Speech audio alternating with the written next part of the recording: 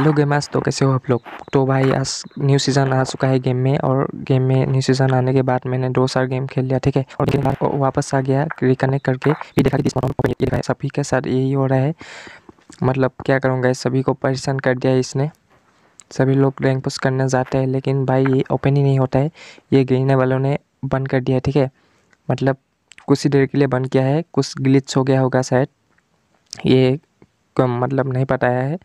लेकिन जल्दी ये ओपन कर देंगे, ठीक है? तो अभी तो ओपन नहीं होंगे, आप लोग को इंतज़ार करने पड़ेगा। मतलब क्या गई ऐसे क्यों बंद करते हो? मतलब आज पहली बार ऐसा हो रहा है, ठीक है? बात मतलब पहले तो नहीं होता था ना? तो गैस आप लोग इंतज़ार कीजिए, जल्दी ओपन हो जाएगा।